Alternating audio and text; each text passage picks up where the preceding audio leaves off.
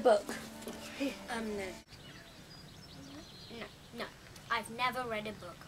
Do you prefer um, non-fiction or fiction? Non-fiction. To the left of you and uh, reach out a book, please. Okay. If I left you uninterrupted for a good hour or so, would you continue reading this book? Um, I think this book's broken.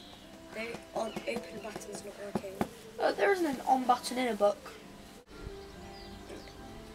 No? Um, No.